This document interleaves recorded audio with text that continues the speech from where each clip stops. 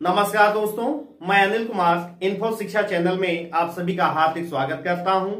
दोस्तों, आज के अपने लेक्चर में हम डिस्कस करने जा रहे हैं high school mathematics NCERT books का 4.1 एक्सरसाइज का क्वेश्चन नंबर सेकंड क्योंकि पिछले लेक्चर में हम प्रश्नों पे चर्चा कर चुके हैं पहले क्वेश्चन पे, उससे पहले के क्वेश्चन पे एग्ज़ाम्पल पे डिस्कशन किए हैं, और उससे पहले के लेक्चर में इसके बेसिक कॉन्सेप्ट पे चर्चा किए हैं क्वाड्रेटिक इक्वेशन के। दोस्तों यदि आप आ, हमारे चैनल के द्वारा हाई स्कूल का ट्रिग्नोमेट्री देखना चाहते हैं तो मैं लिंक में दे दे रहा हूँ। आप उसकी प्लेलिस्ट लिंक में दे रहा हूँ। आप वहाँ से पूरे ट्रिग्नोमेट्री के वीडियो को एनसीईआरटी बुक का एग्ज़ाम्पल कॉन्सेप्ट और उसके क्वेश्चन पे पूरा परिचर्चा किया गया है। दोस्तों, यदि आप चैनल सब्सक्राइब नहीं किए हैं तो हमारे चैनल को सब्सक्राइब करके बेल के आइकन पे क्लिक कर दीजिए, जिससे जो भी वीडियो अपलोड किया जाए, उसका अपडेट आपको तुरंत मिलता रहे। और वीडियो यदि पसंद आए तो इसको लाइक, कमेंट ज़रूर कीजिए। अगर कहीं आपको प्रॉब्लम होती है तो आप कमेंट बॉक्स में इसको लिखिए। तो चलिए, आते हैं। क्वेश्चन नंबर सेकंड का, पहला फ़र्स्ट क्वेश्चन देखते हैं। इंग्लिश में भी हम क्वेश्चन देख ले रहे हैं। Represent the following situations in the form of quadratic equations first question क्या है? The area of a rectangular plot is 5 two 8 metre square the length of the plot in meters is one more than twice its breadth. We need to find the length and breadth of the plot ये पूछ रहा है कि एक आयताकार भूखंड का क्षेत्रफल 528 मीटर स्क्वायर है। क्षेत्र की लंबाई मीटरों में, चौड़ाई के दो गुने से एक अधिक है। हमें भूखंड की चौड़ाई ज्ञात करनी है। ध्यान रखिएगा, इसके लिए क्वाड्रेटिक इक्वेशन आपको बनाना है। अब है तो क्वाड्रेटिक इक्वेशन का, लेकिन जानकारी इसमें ज़्यादा आपको चाहिए। जैसे देखिए, पहले क्वेश्चन में रिक्टेंगल से संबंधित है, दूसरा क्वेश्चन क्रमागत संख्याओं से संबंधित है, तीसरा क्वेश्चन एज से संबंधित है, और चौथा क्वेश्चन किससे संबंधित है? स्पीड टाइम एंड डिस्टेंस से। अब आपको यह लग गया होगा प्रश्नों को देख करके कि क्वेश्चन डिपेंड किस पे है और आपको इक्वेशन कैसे बनाना है। तो आइए सबसे पहले क्वेश्चन पे चर्चा करते हैं। कह रहा है रिक्टेंगल रिक्टेंगल क्या होता है? इसको हम बहुत बेहतर तरीके से अपने प्लेन ज्योमेट्री में डिस्कस इसका कर चुके हैं। यदि आपको ये लेक्चर देखना हो तो आप प्लेलिस्ट में जाइए। और रेक्टेंगल हो स्क्वायर हो पैरेललोग्राम हो रोम्बस हो, इसका कॉन्सेप्ट आप देख करके जनरेट कीजिए। अब ध्यान रखिएगा, कह रहा है, अब देखिए सबसे पहले लंबाई और चौड़ाई को आपको कंसीडर करना पड़ेगा। क्या कंसीडर करना पड़ेगा? देखिए, यहाँ दिया है लंबाई चौड़ाई के दो गुने से एक अधिक है। तो सबसे पहले हम क्या करेंगे? चौड़ाई को मान लेंगे एक्स ठीक है? माना चौड़ाई x metre height. Let us consider the length of rectangle uh, breadth of rectangle is x meter. इसके बाद लंबाई क्या हो जाएगी? इसी को आपको ध्यान में देखना है कि लेंथ क्या होगी। लेंथ को कैसे काउंट करना है? चौड़ाई के दो गुने। दो गुने का मतलब क्या हो जाएगा? टू एक्स एक अधिक मोर देन वन इसका मतलब प्लस वन मीटर अब यहाँ से आपको यह मिल गया कि लंबाई और चौड़ाई आपके पास आ गई। तो क्वेश्चन में देखा कहाँ से गया कि यहाँ से कि length of the plot is one more than twice its breadth तो स्पष्ट हो गया कि लंबाई और चौड़ाई मिल जाने के बाद एरिया क्या होता है? एरिया क्या होता है? यही होता है ना? एल इंटू बी बराबर ए ए मीन्स एरिया लंबाई गुणे चौड़ाई बराबर क्षेत्रफल। ये फार्मूला आपको पता होना चाहिए। तो क्या करना है? लंबाई x इंटू चौड़ाई कितना? टू एक्स प्लस वन बराबर एरिया एरिया कितना दिया है? Five two eight metre square क्या करना है इसको? मल्टीप्लाई कर दीजिए। Two x square plus x bracket के बाहर जो भी क्वांटिटी रहेगी, जो भी वेरिएबल रहेगा, उसका मल्टीप्लीकेशन ब्रैकेट के अंदर जितने भी टर्म होंगे, सब में उसका गुणा होगा। कि इतना बन गया, और ये बराबर कर दीजिए फाइव टू एट और यहाँ से इसको रिप्लेस इधर कर लीजिए, कितना आएगा? Two x square plus x minus five two eight is equal to zero. ये इसका पहला क्वेश्चन हो गया। यही इसमें करना ही है कि represent the following situation in the form of quadratic equation आपका क्वाड्रेटिक इक्वेशन ये बन के तैयार हो गया। अब क्वाड्रेटिक इक्वेशन हल कैसे किया जाएगा? इसका सोल्यूशन नेक्स्ट एक्सरसाइज में है 4.2 में। वहाँ हम देखेंगे कि कैसे क्वाड्रेटिक इक्वेशन को सॉल्व किया जाएगा। बात यहीं पे, इसका आंसर यही आ गया। ये इसका आंसर है two x square plus x minus five two eight is equal to zero अब आते हैं सेकंड क्वेश्चन पे पर चर्चा करते हैं कि सेकंड क्वेश्चन क्या है।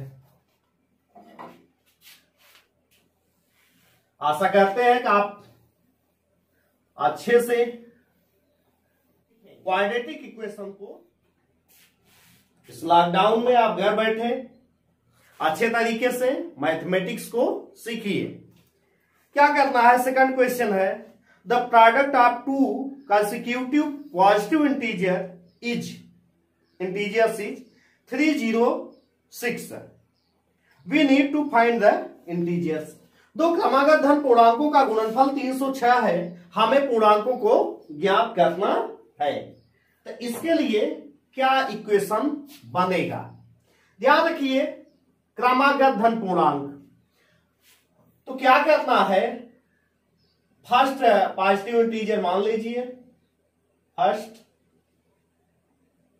पॉजिटिव इंटीजर्स क्या मान लिया गया? एक्स हाँ प्रथम धनात्मक पूर्णांक। क्या हो गया? एक्स अब कह रहा है कंटिन्यूअस है, लगातार है।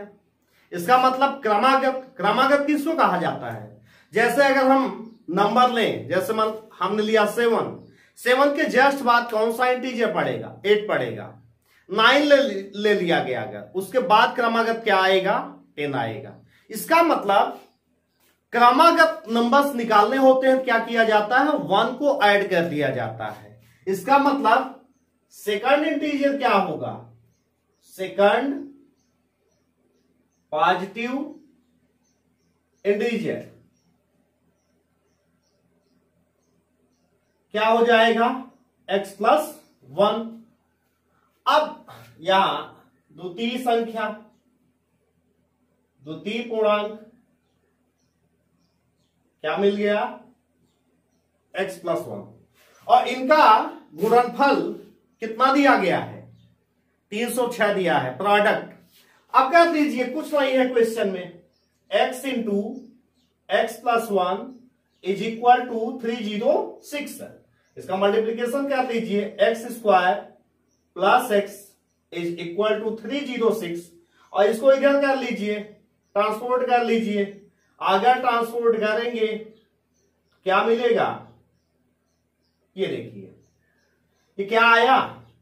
ये एक क्वाड्रेटिक इक्वेशन आ गया। X square plus x minus three zero six is equal to zero this is the quadratic equation तो हमको क्वाड्रेटिक इक्वेशन फाइंड करना है।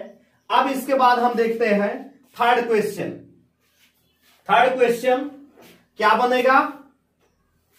कैसे इसका क्वाड्रेटिक इक्वेशन बनाएँगे? इसको हम यहाँ पे देखते हैं। रोहन की माँ उससे 26 वर्ष बड़ी है, उनकी आयु वर्षों में। का गुणनफल अब से तीन वर्ष पश्चात 360 हो जाएगी। हमें रोहन की वर्तमान आयु ज्ञात करनी है। ठीक है?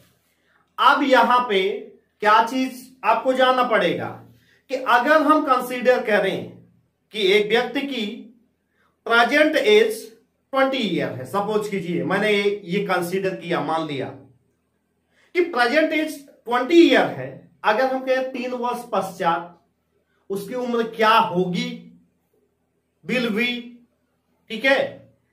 तो क्या मिलेगा? अगर इस समय 20 वर्ष है तो तीन साल बाद क्या हो जाएगी? 20 तीन, तेईस। इसलिए हमेशा ऐसे प्रश्नों में वर्तमान प्रेजेंट एज को जब मानते हैं तो अगर फ्यूचर में जाना है तो प्लस करेंगे और अगर पास्ट में जाना है तो माइनस करेंगे। ये आप ध्यान रखिए। इसलिए अब यह क्वेश्चन हम इंग्लिश में भी देख ले रहे हैं। Rohan's mother is twenty six year older than him the product of their age in years three years from now will be three sixty we would like to find Rohan's present age इसके लिए अब as निकालने के लिए quadratic equation क्या बनेगा? यही देखना है। चलिए तो वहाँ की माँ उससे 26 वर्ष बड़ी है। अगर मैं कहूँ, एक व्यक्ति ए है, उसकी उम्र 20 से 10 वर्ष दस वर्ष अधिक है। क्या करेंगे? बी की उम्र जितना मानेंगे ए की उम्र उसमें 10 ऐड कर देंगे। प्लस कर देंगे। तभी तो उम्र निकलेगी ना। तो अब क्या करना है? रोहन की उम्र पहले माननी पड़ेगी। रोहन की उम्र कितना? रोहन की उम्र है एक्स वर्ष। अब जरा बताइए कि अगर ये प्रेजेंट है प्रेजेंट मतलब वर्तमान उम्र हम लेके चल रहे हैं। वर्तमान, यानी कि प्रेजेंट एज हर एक क्वेश्चन इसका।